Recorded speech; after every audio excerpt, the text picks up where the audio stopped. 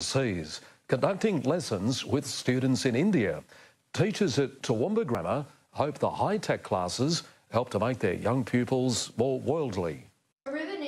Grade sevens presenting to their class in front of a worldwide audience. Not many people get to do this every day, and yeah, and interacting with other people is yeah, it's, it's a great experience. These 12-year-olds at Toowoomba Grammar School are using Skype to connect with the Shri Ram School in New Delhi. We're interacting with India, so in real time. It's just for me, it's amazing. It's something that when I, if I was a schoolboy many years ago, I just could not have dreamed of that. There are nine and a half thousand kilometres separating Toowoomba from New Delhi, a connection made possible every day by these six cameras. And we've got multiple cameras in this room. It's a high-tech room. Students were each given an Indian partner to share the workload. I've been teaching them about the Murray-Darling River, and he's been teaching me a bit about the Ganges. They take turns to present.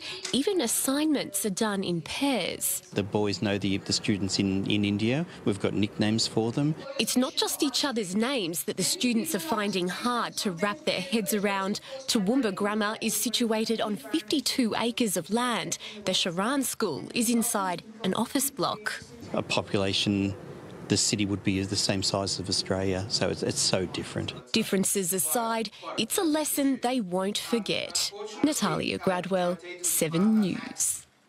fabulous